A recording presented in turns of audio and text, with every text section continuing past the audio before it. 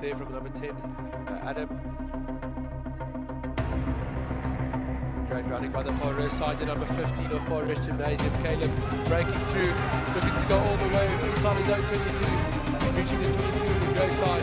Excellent running by the number See what to here from their own 22 to run the ball.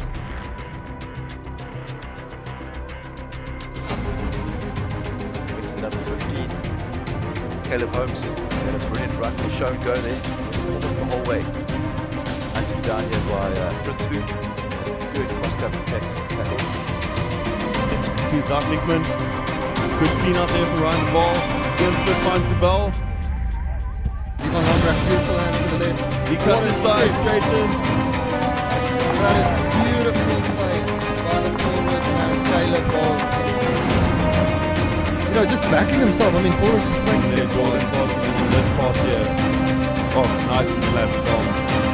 徐老师，谢谢，谢谢，谢谢。